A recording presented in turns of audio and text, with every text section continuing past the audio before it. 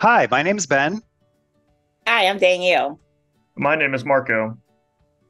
Our team is called Click Here, and our project is called This Is Not Malicious.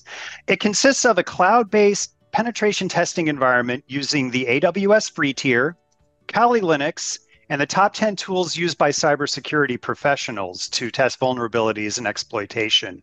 What we wanted to do is demonstrate some of the skills we learned in this bootcamp experience, keep learning after the boot camp, and provide a safe and free way for others to do so.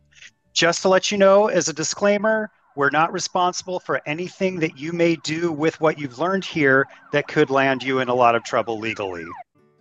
So, we're each going to go ahead and describe some of the challenges, what we've learned, and what's next. So, if you could, Marco, tell us some of the challenges that we faced as a group while we were putting this together. Uh, yeah, as we were doing it, we really wanted something that was not just for a project for here, but really a project that can be used by anyone and after this class, really a viable walkthrough.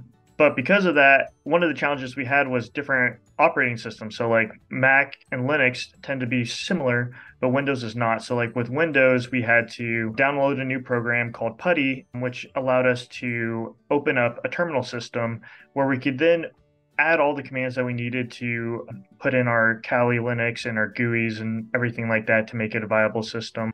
Uh, the other thing that we were having difficulties with was since we wanted it to be a free tier was the different sizes and the storage options uh, making sure that we didn't put a different system in that was going to cost money. Um, so just a lot of trial and error. That was one of the big things. Danielle what is something that we also learned about this? We did learn a lot using aws the system. We didn't get to use that in our boot camp but we did get the information for it so we were able to learn that system we were also able to learn some commands that we could run into the machine that we were able to get our graphical user interface in there because we we had different servers and there's a lot of free services out there. So we did learn how to use each one actually. And uh, we just picked the best one for us to show how easy it was to do that. What about you ben what do you think you're going to be doing after graduation?